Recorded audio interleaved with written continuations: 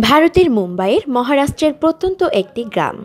আহমেদনগর থেকে ৩৫ কিলোমিটার দূরের সেই গ্রামের নাম শনি সিঙ্গনাপুর বসবাস করেন প্রায় পাঁচ হাজার মানুষ। মূলত আখ চাষিদের বাস এই গ্রামে। আর দীর্ঘদিন ধরেই অদ্ভুত এক কারণে খবরের শিরোনামে রয়েছে শনি সিঙ্গনাপুর কারণ শুনলে যে কেউ অবাক হতে বাধ্য। জানা গেছে, এই গ্রামের বাড়িগুলিতে আসলে কোনো দরজা নেই। সবসময় খোলা থাকে বাড়ি। খোলা ঘরের যেখানে সেখানে পড়ে থাকে টাকা, পয়সা, গহনা। চুরি হয় না।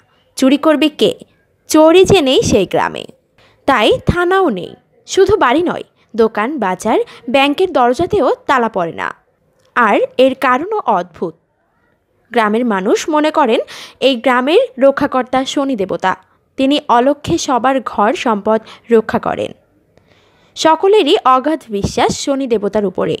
আর সেই বিশ্বাসের জেরে ভারতের একমাত্র এই গ্রামে রয়েছে ইউকা ব্যাংকের শাখা, যার কোনো দরজায় তালা লাগানোর ব্যবস্থা নেই। এমনকি এই গ্রামের মানুষেরা বলেন, তাদের পূর্বপুরুষেরা তাদের বলে গেছেন, দরজায় যেন পাল্লা না লাগানো হয়। সেই নির্দেশ এখনও তারা মেনে চলেন এবং এর জেরে কোনো বিপদও হয় না। প্রায় তিনশো বছর ধরে এই নীতি চলছে মহারাষ্ট্রের এই গ্রামে। তবে নামে গ্রাম হলেও এখন রীতিমতো শহর, এই শনি সিঙ্গনাপুর।